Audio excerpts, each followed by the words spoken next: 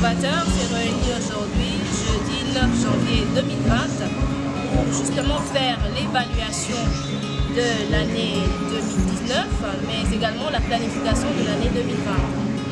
Comme vous pouvez le constater, nous continuons de travailler, nous sommes à votre service. L'unité de la jeunesse est une force, une force pour le développement, l'autonomisation de la jeunesse, de la femme, la croissance et justement la prospérité de l'Afrique. Merci.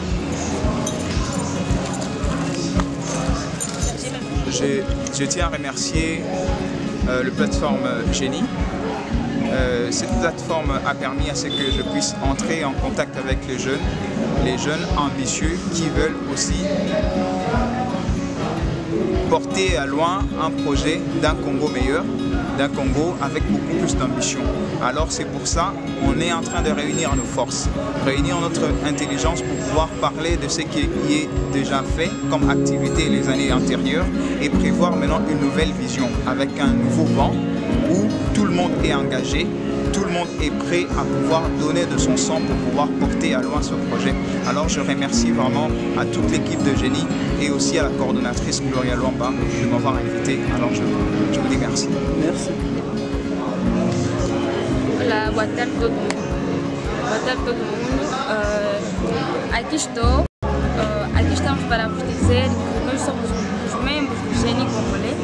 e aqui estávamos e aqui tínhamos uma reunião para dizer para avaliar o ano 2019 e para planificar o ano 2020 e, aí, e aqui estamos para vocês e dizer-vos que nós estamos aqui para o vosso serviço e vamos fazer muito, muita, muita, muitas coisas para vocês. E convido deixar, convido todos os jovens, todos os jovens venham participem neste grupo, venham participem nesta formação do Génie Congolais et eu vous amo muito. Réunion, on a parlé de, du bilan de l'année 2019 et de la planification de l'année 2020. On a détecté certaines failles et on a proposé des solutions, on a proposé des activités de cette année 2020 qui, sera, être beaucoup plus riche en activités, riche en formation.